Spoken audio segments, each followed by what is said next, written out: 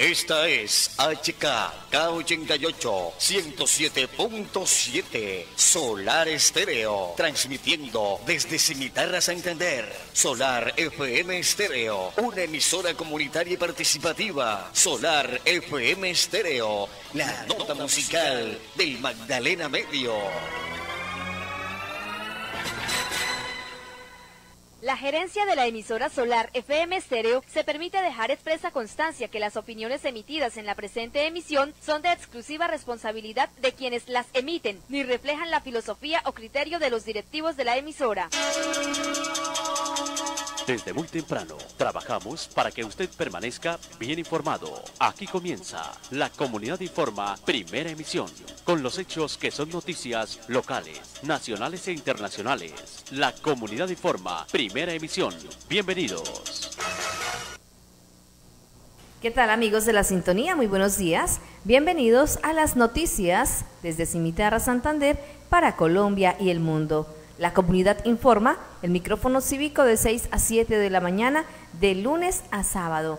Aquí estamos en un día más, en el día número 24 de febrero de 2022, con la dirección general del señor Roque Luis Olaya, acompañándoles Marta López hasta las 7 en la lectura de noticias. Muy buenos días. A su disposición el 315-631-3310, 314-298-1771 para que nos den a conocer lo positivo o lo negativo que sucede en su barrio, vereda, sector o institución.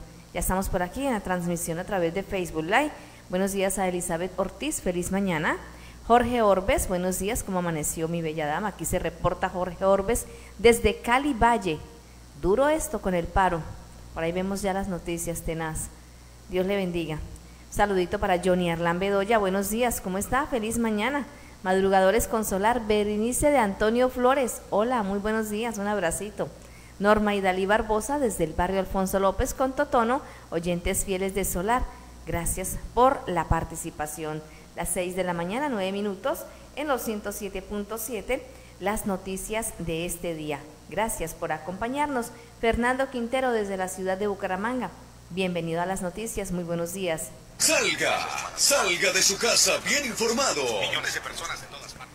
Día jueves y pico y placa para Bucaramanga, hoy 9 y 0. 9 y 0, pico y placa para la ciudad de Bucaramanga desde las 6 de la mañana hasta las 8 de la noche. Salga, salga de su casa bien informado. Millones de personas en todas Este fin de semana acá en el municipio de Cimitarra se estará llevando a cabo una campaña de donación voluntaria de sangre desde las 8 de la mañana hasta las 7 de la noche en el Parque Central. Allí se estará ubicando como lo hace el Banco de Sangre Higuera Escalante para recibir su donación voluntaria de sangre. Cada vez que usted dona sangre, salva tres días y no le hace daño a su salud.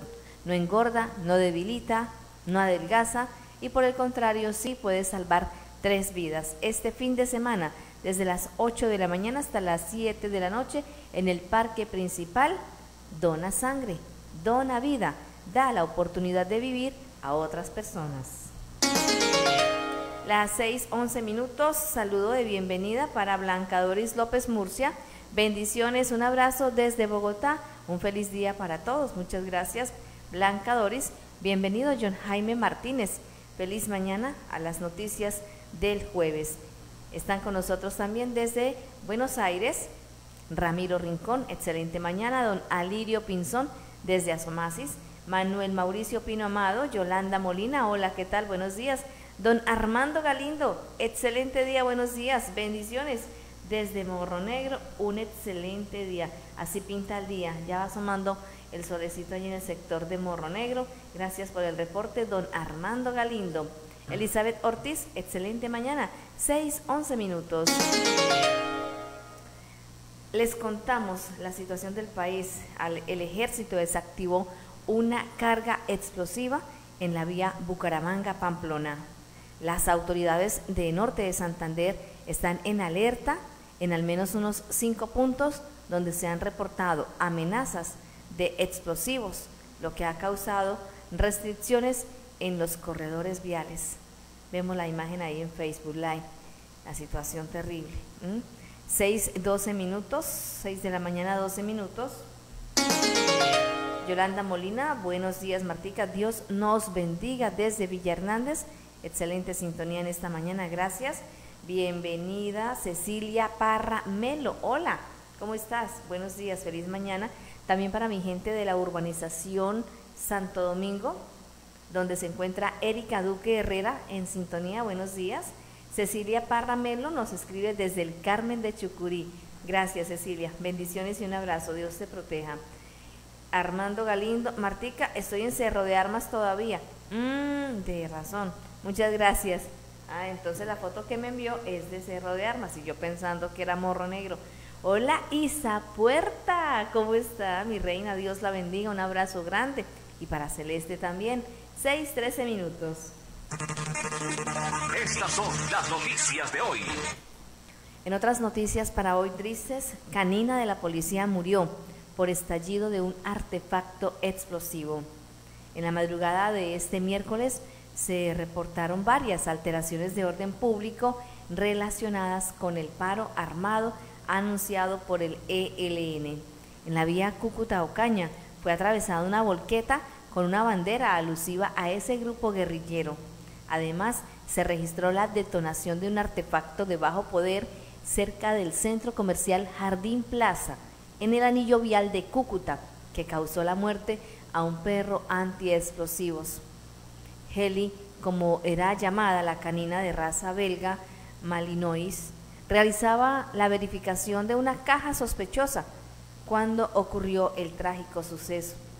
Los carabineros de Colombia y guías caninos rechazamos de manera vehemente la acción terrorista del ELN en el anillo vial de la ciudad de Cúcuta, donde una carga explosiva acabó con la vida de nuestra canina Jelly, experta en detección de explosivos, manifestaron las autoridades mediante un comunicado oficial. De acuerdo con las autoridades, la canina con siete años de servicio, que estaba a escasos cuatro meses de su jubilación, el tránsito hacia la región del Catatumbo está paralizado. Salga, salga de su casa bien informado. Millones de personas en todas Johnny Arlán Bedoya, buenos días. Dice muy buenos días Martica y todos los oyentes. Un hermoso día para todos. Dios nos bendiga. Para informar que se ha disparado demasiado los índices de robo. Antier me tocó a mí. Me atracaron, se llevaron el celular. La inseguridad es de no salir de la casa. anda, Johnny Arlán. Cuídate mucho. ¿Dónde es que estás?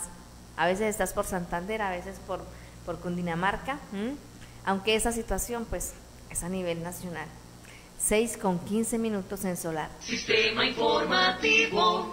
Saludo de buenos días para nuestra audiencia. Tenemos información a esta hora de parte de la Fiscalía Segunda Local del municipio de Cimitarra. Mucha atención, por medio del cual se hace un llamado al señor Luis Emidio Mogollón Amaya, quien al parecer reside en el corregimiento de la India del municipio de Landazuri, para que se presente en la Fiscalía el día 24 de febrero a las 2 de la tarde, o sea, hoy.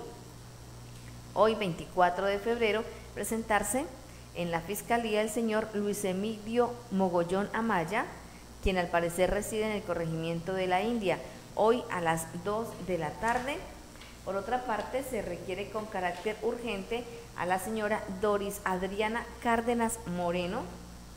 Doris Adriana Cárdenas Moreno, quien al parecer reside en la vereda Corinto del municipio de Landazuri, presentarse hoy 24 a las 2 de la tarde. Con carácter urgente se requiere a la señora Nubia Rosa Pérez Rodríguez, quien al parecer reside en la vereda La Caimana de este municipio, para que comparezca hoy 24 de febrero a las 2 de la tarde. Con carácter urgente se requiere a la señora María Consuelo Moreno Betancur, quien al parecer reside en la vereda La Caimana de este municipio, para que comparezca hoy 24 de febrero a las 2 de la tarde.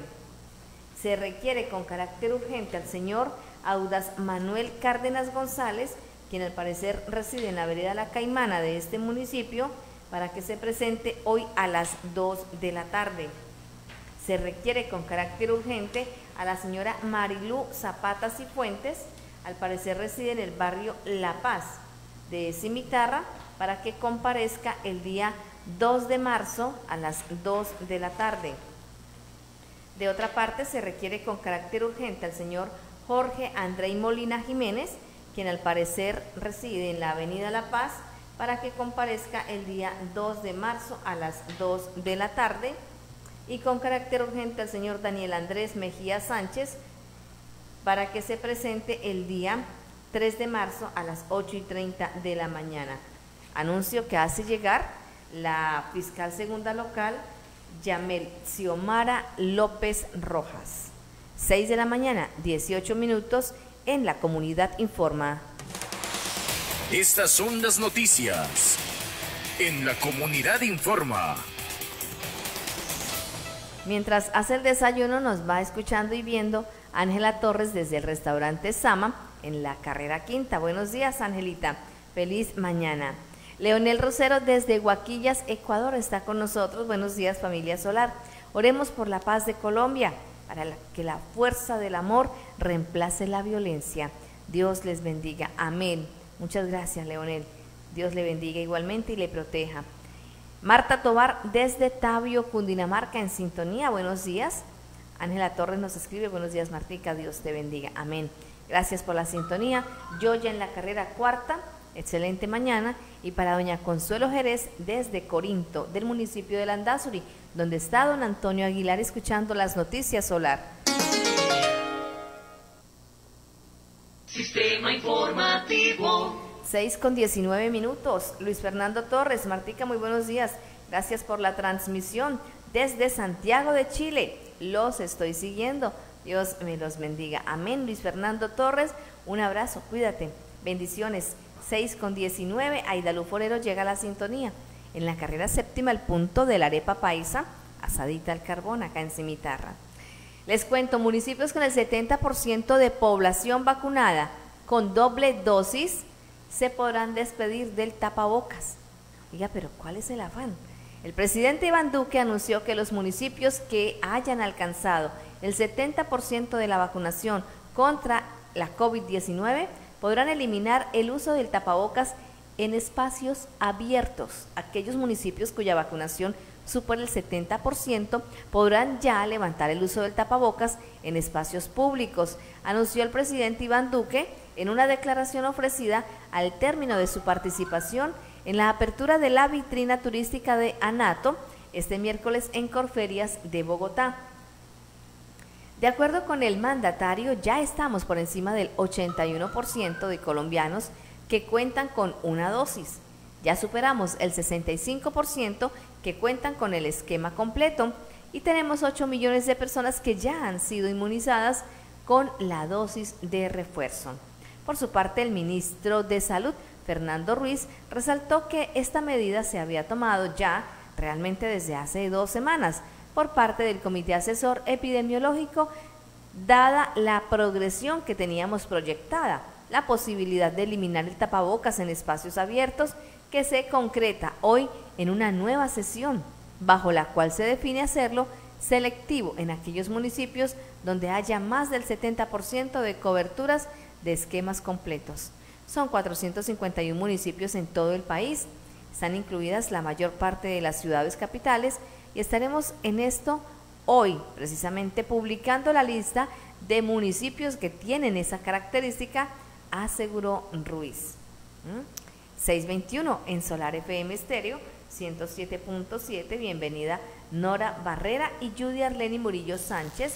Buenos días. Dios les bendiga. Judy Arleni desde el municipio de Landazuri. Bienvenida a las noticias solar. Vamos a mirar el porcentaje eh, de vacunación acá en el municipio de Cimitarra contra el COVID-19 según la página de la ese Hospital Integrado San Juan de Cimitarra. Vamos hasta el momento con un porcentaje del 91,6%, porcentaje global. El total de dosis recibidas 54.458 aplicadas, 49.900 dosis aplicadas, pendientes por aplicar 4.558, lo que nos da un porcentaje global de cumplimiento del 91,6%. Y a propósito de las jornadas que se están llevando a cabo para poder avanzar, este jueves 24 le corresponde al horario de 3 a 6 de la tarde. Ayer se llevó a cabo en el parque principal, estuvieron, eh, ayer era de 5 a 8 de la noche, bueno, hoy es de 3 a 6 de la tarde y mañana también hay jornada de vacunación en el parque. Hoy en el parque principal desde las 3 de la tarde hasta las 6 de la tarde, las personitas que no se hayan podido vacunar por falta de tiempo, por falta de transporte, porque el trabajo, por la distancia, por lo que sea, acudan hoy de 3 a 6 de la tarde. Se estarán aplicando los biológicos de Sinovac, primera dosis, de 3 a 11 años y segunda dosis para la población pendiente. Se aplicará la Pfizer, primera dosis para, dos, para personitas de 12 a 17 años, a las mujeres embarazadas y lactantes y segundas dosis para la población pendiente, además de los refuerzos.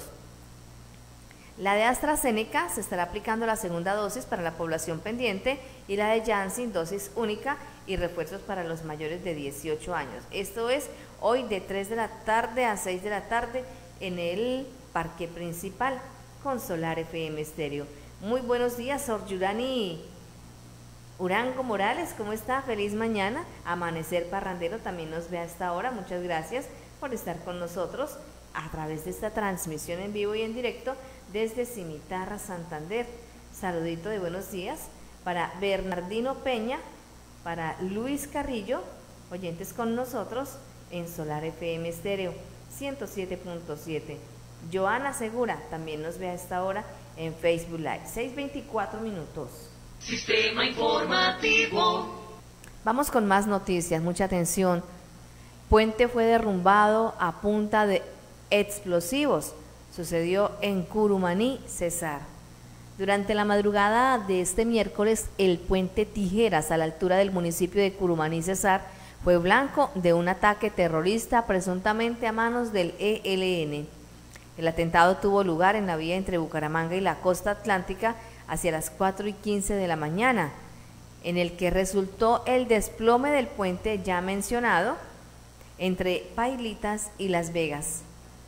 Testigos que vieron el hecho después del ataque llamaron a las autoridades, quienes indicaron que la plataforma quedó completamente destruida, lo que complica el tránsito hacia la costa desde el centro del país. Si bien las autoridades no han dado un pronunciamiento oficial, el hecho coincide con el paro armado nacional decretado por el grupo ilegal ELN, lo que paralizaría el transporte y el comercio en todo el territorio en el que dicho grupo tiene injerencia en el país. Recordemos a la población mantenerse en sus viviendas o lugares de trabajo, evitar desplazamientos por razones de seguridad, se lee en el comunicado emitido. De acuerdo con el texto, dicho paro se llevaría a cabo entre las 6 de la mañana del 23 de febrero hasta el amanecer del 26 de febrero de 2022. Según el ELN, el paro se realiza contra Duque y su mal gobierno. También el grupo escribió que, abro comillas, la población solo podrá movilizarse por razones humanitarias relacionadas con actividades funerarias o emergencias hospitalarias. Las autoridades no podrán responder por las afectaciones que les pueda suceder a los vehículos que desacaten el paro.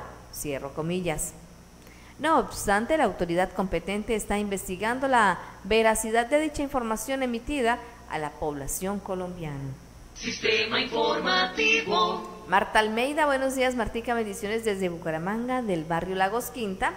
Wilson Castaño, ¿qué tal? Buenos días para todos. Gloria Janet Rincón Mateus, buenos días, familia Solar Estéreo. Dios los bendiga. Amén. Muchas gracias a los amigos que nos acompañan a esta hora a través de Facebook Live. Martica, el morro sí queda allá donde se ve el amanecer al oriente. Ah, de la imagen que me mandó. Hola, buenos días. Alba Iris García en sintonía desde el barrio Villa Hernández. 6 con 27 minutos. Las noticias de hoy. Muy buenos días a la audiencia desde el cruce de Santa Rosa, Patio Bonito, los vigilantes de la ESA y de allí del ancianato. Esa personita que me está dando like no la tengo registrada. Buenos días, bienvenido o bienvenida. Ya tenemos las 6 con 27 minutos, 6 de la mañana 27, mucha atención. Delante de curiosos, remataron a dos hombres en las calles de Puerto Wilches. Varios habitantes de Puerto Wilches se encuentran aterrados luego de conocer la trágica noticia de un doble homicidio hacia el mediodía de este miércoles en el corregimiento de Puente Sogamoso, Santander. Según información preliminar, dos hombres fueron asesinados con arma de fuego en el sector de la cancha principal en el barrio El Campín, en el que algunos curiosos acordonaron la calle para mirar de quiénes se trataba. Tras conocerse el caso, el alcalde de Puerto Wilches, Jairo Toquica, dio a conocer que se están realizando las averiguaciones para conocer la identidad de estas dos personas y la Policía Nacional está realizando su desplazamiento para el levantamiento. El ejército acordona el área para atender esta situación presentada. Entre tanto, las autoridades hicieron presencia en el lugar para dar inicio a las respectivas investigaciones y poder esclarecer este crimen. Por otra parte, realizaron el levantamiento de los cuerpos para trasladarlos a medicina legal. Hasta el momento se desconocen los móviles del doble homicidio y también se desconocen las identidades de las víctimas. Sistema informativo. Lida, Lida, Lida. Desde Bogotá, bendiciones Martica. Gracias Lida. Un abrazo enorme para mi gente de Bogotá, de Barranquilla, Cartagena, México, oyentes con Solar FM Estéreo. 6.29 minutos, hoy es jueves 24, mañana es el último día del pago de Colombia Mayor. No olviden, mañana último día del pago Colombia Mayor y también se está pagando hasta la primera semana de marzo la devolución del IVA. Después de la segunda semana de marzo, según las noticias que se han dado a conocer, eh, se estará pagando el ingreso solidario después de la segunda semana de marzo. Las 6 con 29 minutos. Estas son las noticias de hoy. Sistema informativo. 629 más noticias. Terror en Pinchote por explosivo que dejó nueve heridos. En la mañana de este miércoles 23 de febrero, nueve personas resultaron heridas tras la explosión de un artefacto en el sector de la curva de leche, leche cabra en Pinchote, por la vía entre San Gil y el Socorro Santander.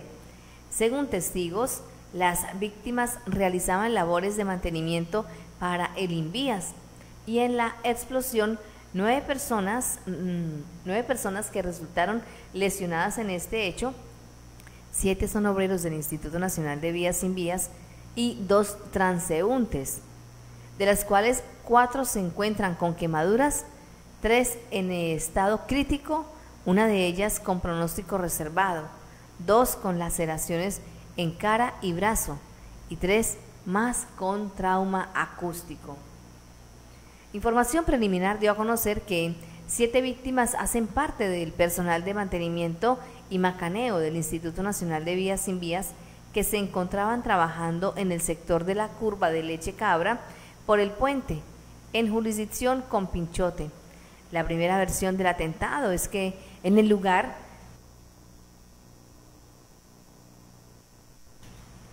En el lugar se encontraron con un paquete envuelto en cinta quirúrgica que llamó su atención. Los trabajadores procedieron a abrirlo para descubrir de qué se trataría y era una bomba, era un paquete bomba con explosivo. En ese instante, la detonación les provocó lesiones de gravedad en los ojos, heridas por esquirlas y quemaduras, por las que fueron auxiliados por ambulancias de Asismedic San Gil de Pinchote, de Socorro y de Invías, además de la policía y la ciudadanía, y transportados en ambulancia al hospital y a la clínica de San Gil. Dubin Alfonso Villamizar, vocero de la Defensa Civil en el municipio del Socorro, indicó que los heridos están siendo atendidos en centros médicos de San Gil y Socorro. En las víctimas presentan hemorragias, algunas quemaduras, y traumas de tórax. Uno de ellos registra afectaciones en un ojo. De igual forma, la situación obligó a hacer un cierre de la vía mientras Las autoridades y unidades de antiexplosivos realizaban la investigación. Asimismo, la gobernación de Santander aprobó una recompensa de hasta 50 millones a quien suministre información y permita dar con los responsables de este hecho. Cabe destacar que en días anteriores comenzó a circular un panfleto en el que habría un paro armado que se había estipulado por el grupo guerrillero ELN, por lo que se indaga si está directamente relacionado con este hecho amenazante. Estas son las noticias. En la comunidad informa. Desde la Macarena Meta, buenos días, Elisa Sánchez, ¿cómo estás? Feliz mañana. Bendecido día para Arisa Marcela, buenos días, bendiciones. Feliz día para ti también, Arisa Marcela, oyentes que permanecen con nosotros en la sintonía desde Facebook Live. Nos escuchan las 24 horas en www.solarfm.com.co. Sistema informativo. En Solar Estéreo tenemos los documentos de identidad de Juan Pablo Vázquez Pérez, Efraín Ascanio y Luis Alfonso Ríos Bustamante. Estas personas pueden acercarse en horario de oficina a reclamar sus respectivos documentos. Ya tenemos las 6 de la mañana, 33. Salga, salga de su casa bien informado. Hola, Percho Riaño. Bienvenido. Feliz mañana en Solar Estéreo. Más noticias. Motorizados salieron volando por omitir un pare. Sucedió en pie de cuesta. Cuando corría la noche del pasado martes 22 de febrero, se presentó un fuerte accidente de tránsito en el municipio de Piedecuesta, Santander. El siniestro ocurrió justo en la calle Octava con Carrera Quinta del municipio Garrotero, cuando un par de motorizados se encontraron violentamente porque uno de ellos omitió la señal de pare. Dicho acontecimiento fue grabado por una cámara de seguridad ubicada en una de las esquinas del sector, evidenciando el duro golpe que se pegó este par de conductores, quienes llevaban una velocidad considerable, causando la expulsión desde sus motos, cayendo a varios metros de distancia. Lo más insólito del acto es que una pareja de transeúntes, al ver la escena, miró a lo lejos, pero hicieron como si nada pasara y continuaron tranquilamente por su camino. Por otro lado, otros actores viales detuvieron su marcha para verificar el estado de salud de estas dos personas, quienes no pudieron levantarse al instante por lo fuerte del golpe. Tras ello, la comunidad hizo el llamado a las líneas de emergencia, pero hasta la fecha se desconoce a ciencia cierta el estado de salud de los dos motociclistas que se vieron involucrados en dicho siniestro vial.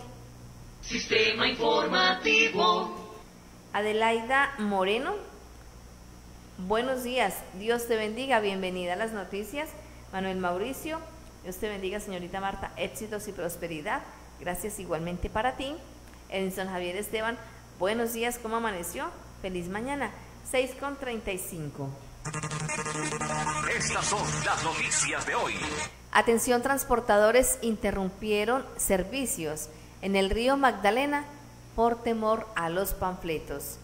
Las empresas que prestan el servicio de transporte fluvial de personas y mercancías por el río Magdalena en territorio santandereano tomaron la determinación de no laborar este miércoles por el temor generado por los panfletos que anunciaban represalias si, si transitaban el río. De acuerdo con lo informado, un total de 22 empresas transportadoras determinaron parar y con eso se afectó a más de 600 personas que no pudieron desplazarse a sus sitios de origen de trabajo o a comerciar en los pueblos aledaños al medio santandereano.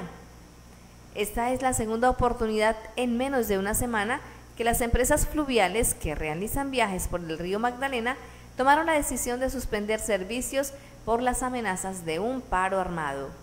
La semana pasada también habían paralizado actividades por un panfleto amenazante. La situación afecta a todas las empresas que cubren trayectos en Barranca Bermeja, el sur de Bolívar y hasta el departamento del Atlántico, también a las personas que tienen como medio de transporte las lanchas y el ferry. Pese a que el coronel eh, Servio Tulio Roa Roa, comandante de la Quinta Brigada del Ejército Nacional, reiteró en conversación con el diario El Frente que la seguridad de esa zona estaba garantizada. Lucerena Cortés, representante de las empresas de transporte fluvial, indicó que están perjudicados por lo de la incertidumbre que se genera en los transportadores cada vez que aparecen panfletos. No nos dan la certeza de saber si las amenazas son veraces o no. De todas maneras decidimos parar porque ya hemos tenido retaliaciones cuando se hace caso omiso a las advertencias. Estamos muy afectados porque acabamos de salir de pandemia. Sistema informativo.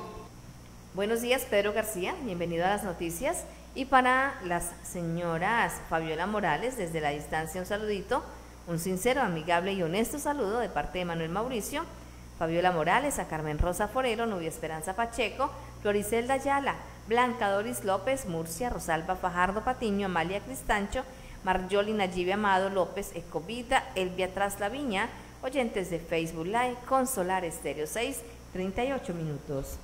Trabajamos para que usted permanezca bien informado con los hechos y sucesos del acontecer diario. En la Comunidad Informa, primera emisión. La Comunidad Informa, primera emisión. Noticias regionales, nacionales e internacionales en Solar Estéreo. La Comunidad Informa, primera emisión. La Comunidad Informa. El micrófono cívico 638 minutos 107.7, más información. Alerta en 23 municipios de Caldas por crecientes y deslizamientos.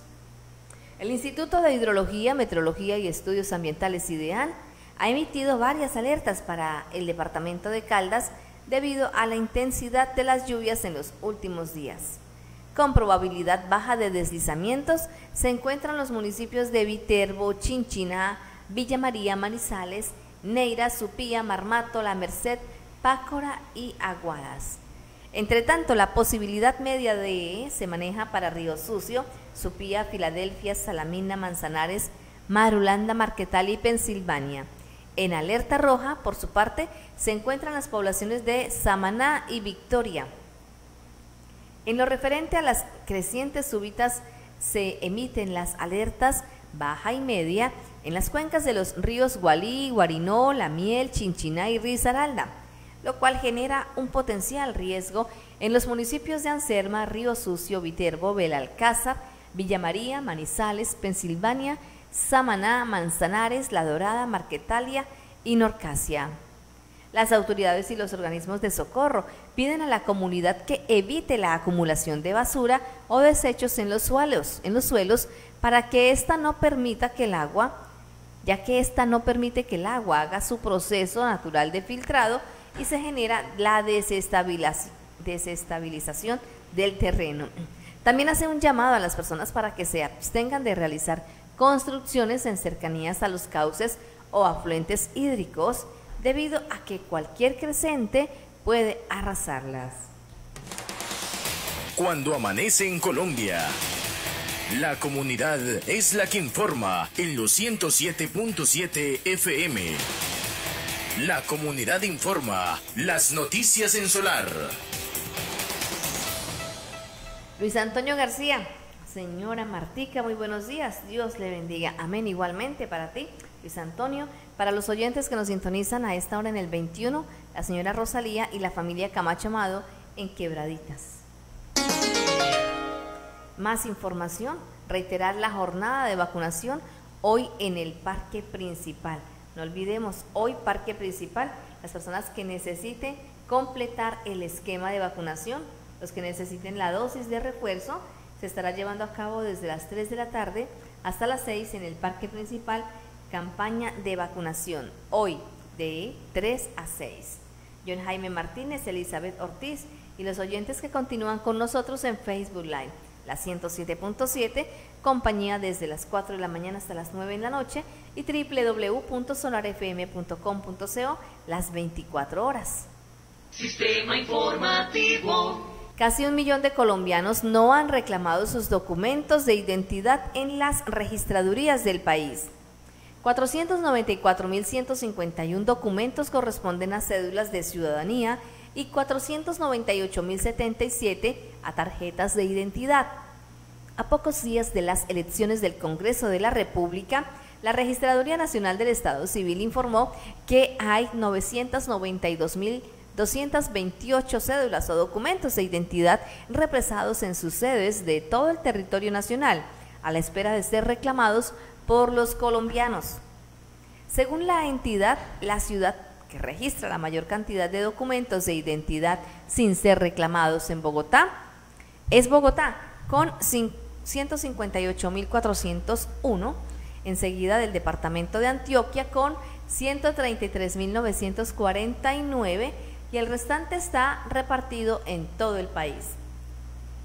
La Registraduría Nacional del Estado Civil espera que los ciudadanos acudan a sus sedes a reclamar los documentos, especialmente la cédula de ciudadanía, para que puedan participar en las próximas elecciones del Congreso de la República y en las presidenciales. Cuando amanece en Colombia. La comunidad es la que informa en los 107.7 FM. La comunidad informa las noticias en solar. Más noticias en Solar, 6:43 minutos. Cúcuta a menos del 1% de vacunación para lograr eliminar el uso de tapabocas obligatorio. La capital norte santanderiana lleva un 69,4% de la población vacunada con segundas dosis.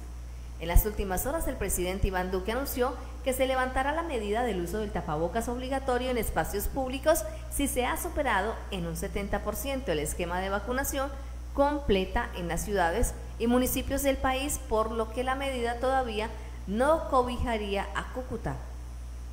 Es que en algún momento sí fue obligatorio. Las personas aquí en Cimitarra no lo cumplieron. Según las últimas estadísticas entregadas por la alcaldía de Cúcuta, el 82,6% de la población en la ciudad ha sido inmunizada con primeras dosis y el 69,4% con segundas dosis, por lo que ya casi se alcanza la meta impuesta por el gobierno. Nos falta poco para lograr el 70% de la aplicación de segundas dosis por eso llamamos a los cucuteños a acudir con responsabilidad a los puntos y jornadas de vacunación para seguir demostrando que vacunarnos es una estrategia de todos, comunicó la alcaldía de Cúcuta a través de sus redes sociales. Con este anuncio por parte de la alcaldía de la ciudad, se espera que los ciudadanos salgan a aplicarse el esquema de vacunación completo para superar el umbral necesario para levantar la medida del uso del tapabocas obligatorio en la ciudad. 6.45, 15 minutos nos separan de las 7. Escucha de lunes a sábado de 6 a 7 de la mañana. La comunidad informa primera emisión con los hechos que son noticias locales, nacionales e internacionales. La comunidad informa primera emisión. La comunidad informa primera emisión. Vea, con respecto al uso del tapabocas en Bucaramanga, no va más. Ya no será obligatorio el uso del tapabocas a partir del primero de marzo en Bucaramanga. La medida permitirá permanecer en espacios públicos sin el elemento de bioseguridad, siempre y cuando, siempre y cuando se cumpla con la cifra de vacunación mayor al 70%. El presidente Duque dio a conocer la decisión de suspender el uso obligatorio del tapabocas en establecimientos públicos o lugares abiertos debido a las cifras de disminución de casos positivos y muertes en el país. Luego del análisis con el Ministerio de Salud y el Comité Epidemiológico, decidimos que en los municipios y ciudades del país que hayan superado el 70% de la población con esquema completo de vacunación, se levanta la medida del uso del tapabocas en espacios públicos, manifestó el mandatario. Bogotá sería la primera ciudad en aprobar la decisión de las autoridades nacionales de salud. Por su parte, el alcalde de Bucaramanga, Juan Carlos Cárdenas, indicó que desde el primero de marzo no será obligatorio el uso del tapabocas en espacios abiertos de Bucaramanga. Esperamos normativa del gobierno nacional para su implementación. Gracias a la vacunación, y el cuidado de la ciudadanía, nuestra ciudad se reactiva de forma segura. Cuando amanece en Colombia. La comunidad es la que informa en los 107.7 FM. La comunidad informa las noticias en solar. Este fin de semana en el parque principal Done Sangre, Done Vida, desde las 8 de la mañana hasta las 7 de la noche, los esperamos en el Banco de Sangre Higuera Escalante, parque principal. Usted dona sangre, usted salva tres vidas. Done sangre, done vida. 647, Héctor Manuel López Vita desde Barranquilla. Buenos días, ¿cómo está? Feliz mañana, Héctor Manuel y nuestra gente de Cartagena. Las 6:48 minutos. Otras noticias a esta hora. Mucha atención, el helicóptero de la Fuerza Armada venezolana se estrelló y dos uniformados fallecieron. La Fuerza Armada informó que el accidente se produjo cuando los uniformados cumplían una misión de abastecimiento a bases de protección fronteriza.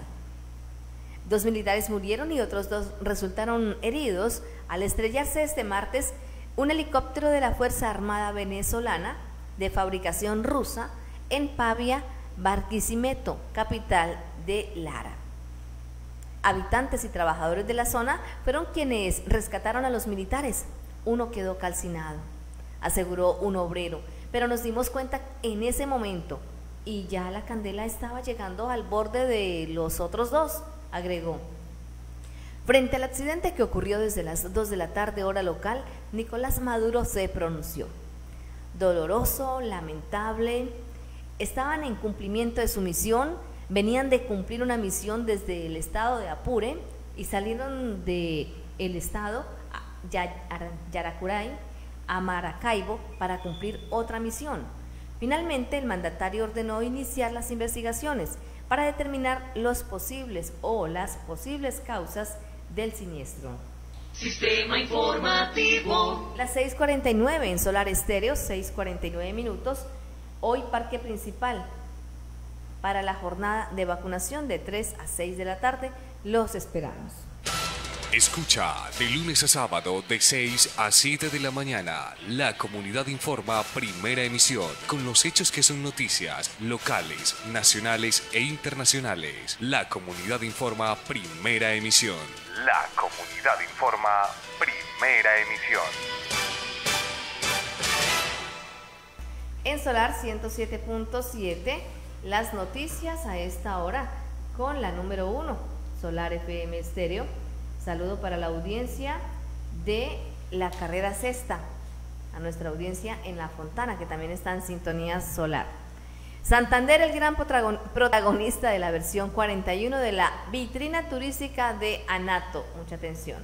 Santander, el gran protagonista de la versión 41, como destino nacional invitado de honor, presentó una oferta variada entre cultura variada, ecoturismo, patrimonio y deportes de aventura, en el evento turismo más importante de Colombia que abrió sus puertas al público con el propósito de promocionar y vender destinos nacionales en esta etapa de reactivación económica. Bajo el lema Colombia abierta al mundo, aerolíneas, cadenas de hoteles, agencias de viajes, guías y demás sectores del gremio participan en esta feria que se desarrollará en Corferias hasta el próximo 25 de febrero, o sea, mañana. Durante estos tres días nuestro stand está contando con tecnología a través de gafas de realidad virtual. Los visitantes podrán experimentar toda la adrenalina de los deportes de aventura como el para, paramente y rafting. Además, dispusimos de 30 gremios y 16 agencias operadoras turísticas para la atención y venta de paquetes, afirmó el gobernador de Santander, Mauricio Aguilar Hurtado. Para esta cuadragésima primera edición de Anato Santander, le apuesta al turismo receptivo y experiencial, mediante un espacio de 345 metros cuadrados ubicados en el stand 520 del pabellón 1116. El departamento espera concretar más de mil citas de negocios que beneficien al sector turístico. Fue más de un año de articulación con los gremios y consejos consultivos del departamento para elaborar este espacio. Asimismo, más de 100 horas de montaje En este lugar estamos reflejando el potencial de Santander, afirmó la secretaria de Cultura y Turismo, Meriluz Hernández López. Vale la pena mencionar que siete municipios tienen stand individual dentro del espacio de Santander. Encino, Aguada, El Socorro, Pinchote, Florida Blanca, Bucaramanga y el destino especial de Barranca Bermeja. La vitrina turística de Anato se ratifica con el gran escenario para dinamizar la economía y continuar con el firme propósito de exponer a Santander ante el mundo. Sistema informativo. Trabajamos para que usted permanezca bien informado con los hechos y sucesos del acontecer diario. En la Comunidad Informa, primera emisión. La Comunidad Informa, primera emisión. Noticias regionales, nacionales e internacionales en Solar Estéreo. La Comunidad Informa, primera emisión. La comunidad informa. 48 municipios de Santander podrán levantar la medida del uso del tapabocas en espacios públicos. Tras el anuncio del presidente de la República de Colombia, Iván Duque Márquez, y el ministro de Salud de Protección Social, Fernando Ruiz Gómez, de eliminar el uso del tapabocas en los municipios donde se cuente con un porcentaje mayor al 70% de su población, con esquemas completos de vacunación contra el COVID-19, la Secretaría de Salud de Santander informa que según los datos registrados a corte de este miércoles 23 de febrero, son 48 los municipios que podrán acogerse a la medida de acuerdo a los registros de población del Departamento Administrativo Nacional de Estadística DANE. Son 48 municipios santanderianos que han completado el esquema de vacunación contra el COVID estos podrán levantar el uso del tapabocas en espacios públicos a partir del primero de marzo, dijo el secretario de Salud Departamental Javier Alonso Villamizar Suárez. Teniendo en cuenta los datos del DANE que hacen referencia a la cantidad de habitantes por territorio, los 48 municipios que al día de hoy cuentan y pueden acogerse al nuevo lineamiento son Aguada, Aratoca, Bucaramanga, Capitanejo, Carcasí, Cerrito, Charalá, Charta, Chima, Chipatá, Cimitarra, Concepción, Contratación, Confines, Coromoro, El Socorro, El Palmar, Enciso, Encino, Florián, Galán, Huaca, eh, Guadalupe, Guapotá, Huetza, Guabatá, Ato, Jesús María, Macaravita, Molagavita, Oiva, Onzaga, Landazuri, La Belleza, Páramo, Palmas del Socorro, Puerto Parra, San Benito, Santa Elena de Lopón, San Gil, San Andrés, San Miguel, San José de Miranda, San Joaquín, Sucre, Valle de San José, Villanueva y Zapatoca. Con el reciente anuncio del Ministerio de Protección Social y Salud, dejó claro que el sistema de transporte público no opera como espacio público. En el transporte público debemos seguir manteniendo el tapabocas porque ahí hay una cercanía y aglomeración y en general no hay condiciones de ventilación. A la fecha en Santander, 1.876.277 personas han recibido la primera dosis y unidosis lo que representa un 81%. Además, el 68% de la población ha completado los esquemas. El llamado es para la población que aún no se ha vacunado. Tenemos disponibles más de 137 mil biológicos contra el COVID en los 87 municipios para que puedan acudir a completar sus esquemas, indicaron eh, las autoridades. Cabe aclarar, en el transcurso de los siguientes días podrá aumentarse el número de municipios que puedan levantar la medida teniendo en cuenta los registros de vacunación. Las 656. En Solar Estéreo 107.7 estamos finalizando las noticias en esta mañana de jueves 24. Invitarles a continuar en programación con la música romántica y mañana la cita nuevamente aquí de 6 a 7 de la mañana. Gracias por su amable sintonía. Dios nos bendiga, aquí nos encontraremos. Sigan con la mañana solar. 656. Con los hechos que fueron noticia local, nacional e internacional, hemos presentado La Comunidad Informa, primera emisión. Esta es HK K88 107.7 Solar Estéreo, transmitiendo desde Cimitarra Santander. Solar FM Estéreo, una emisora comunitaria y participativa. Solar FM Estéreo, la nota musical del Magdalena Medio.